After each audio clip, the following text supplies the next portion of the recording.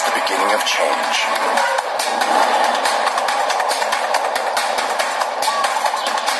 E is a mission for the planet Earth, not just a new business.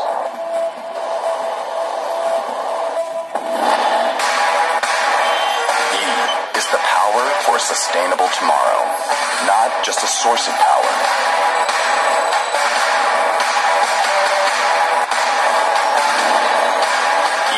Is a challenge for a better future, not just about adapting to survive.